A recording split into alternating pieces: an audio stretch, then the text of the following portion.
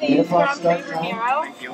Tell us a little bit about your approach to the course. Uh, I have to say, I was on my third ride when I came to the, uh, you know, with Whitney to the um, to the course, and um, I thought the course was actually big enough. It was probably like a, you know, solid meter 50 track. Uh, combination was very hard, uh, but okay, I was riding Whitney, who she's very experienced. I had her for two seasons now, uh, so she was great. She jumped clear the first round, no problem, and she felt really good.